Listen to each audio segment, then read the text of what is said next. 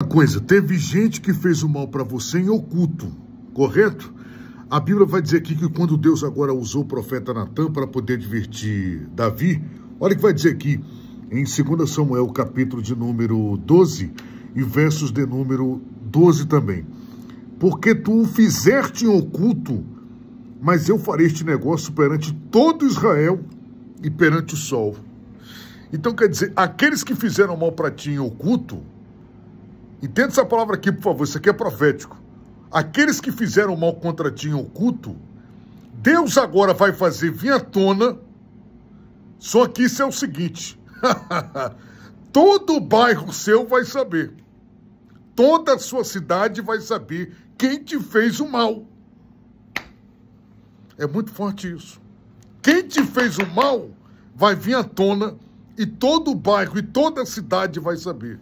E esta pessoa ficará envergonhada. Assim diz o Senhor para ti.